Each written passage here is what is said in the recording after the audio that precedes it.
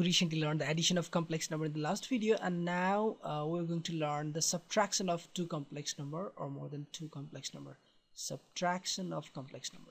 Let's say I have a complex number z1 equals to a plus uh, ib and I have another complex number let's say z2 which is c plus id okay now I want to find out uh, the subtraction of these two complex number or let's say difference of these two complex number z1 minus z2 I want to find out.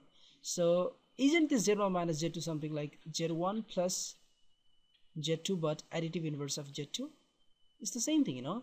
So further what I can write it's a plus ib plus negative of z2 or additive inverse of z2 that is that is minus c plus i times uh, minus d. And now isn't this same like the addition of the two complex numbers? So this real part and real part will get added. A plus minus c all right?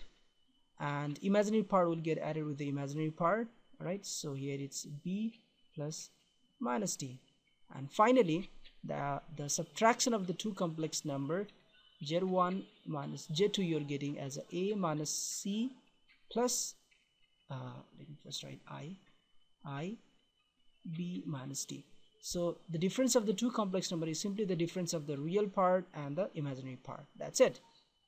Let's say i have i have another complex number. Let's say w1 equals to 3 plus i5 it's not computer i5 or i7 and w2 is let's say uh, let's say 8 plus uh, i2 all right? So i want to find out w1 minus w2 so it's very simple you know a minus c.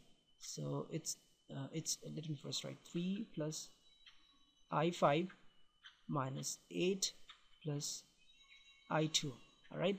Directly you can write or you can expand and then you can go. All right? So simply if you go then 3 minus 8 3 minus 8 and then plus difference of 5 and 2 all right? It's 5 minus 2 and the i.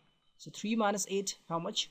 That's minus 5 plus 5 minus 2 that's 3 so i 3 core i3 core i5 anyways so this is a very simple way to subtract one complex number for another complex number right? I hope you understand. If there is any more confusion or doubt to ask me then please feel free to comment below this video. I will definitely get back to you all right? I'll see you in the next video. Bye bye